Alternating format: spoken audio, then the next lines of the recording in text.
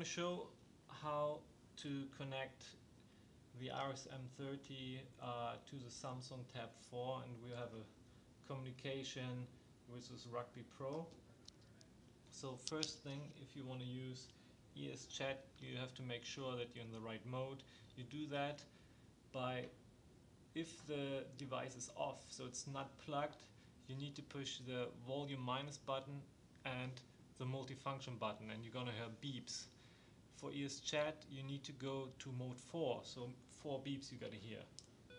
You hear 1, 2 beeps, 3 beeps, 4 beeps, means I'm now in the ES Chat mode. So now here's the electricity, the demo device which has uh, the audio and electricity charge. So here we're gonna simulate the electricity on this cable. So device is on. I will plug the device. So we see earphones connected. Now I have to chart, uh, start the ES chat. This location setting. I don't have location uh, activated. So one thing you should make sure is you click on the menu, you go on settings, and then you scroll down to the very end and you see headset sound profile. Click on it, you click on headset type on the very top. This should be two poles. The default is toggle, but toggle wouldn't work, so please change to two poles.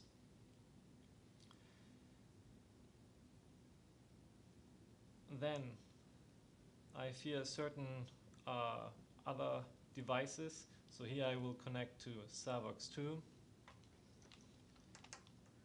I'll call. It's connecting. Test 1, 2, 3, 4. It works. I click and I will answer. Test 1, 2, 3, 4.